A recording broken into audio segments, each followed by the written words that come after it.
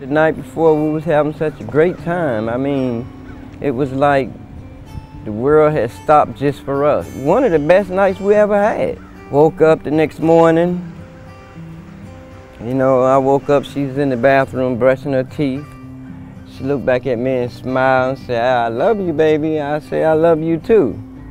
And she said, I love you again, and I see you after I get off work today.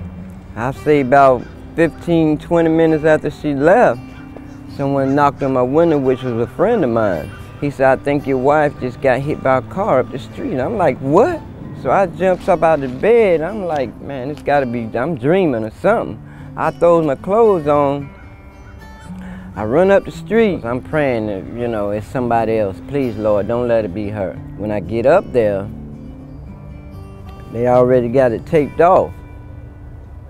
And um, I see these shoes laying in the street, and I'm looking. I'm like, them look like her shoes.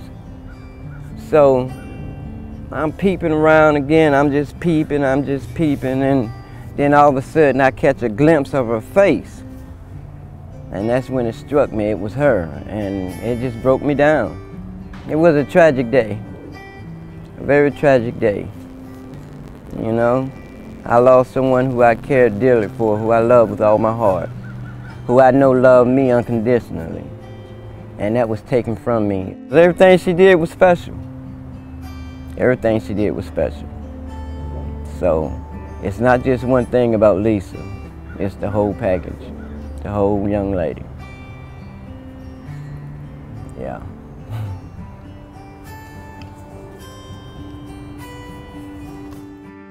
I didn't know where to turn. I've never been in this situation before. I never I didn't know how I was going to put her away. I didn't know what to do. I went to Greer's funeral home and he told me about Catholic Charities. And the young lady that interviewed me, she was outstanding. She was very helpful. She was nice, kind, considerate, you know, like people should be. She didn't treat me like I was a nobody she, she treated me like I was a man.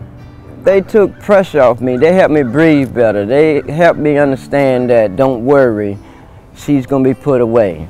She's gonna be put away like she should be. She's not gonna be just thrown in a box or whatever and forgotten.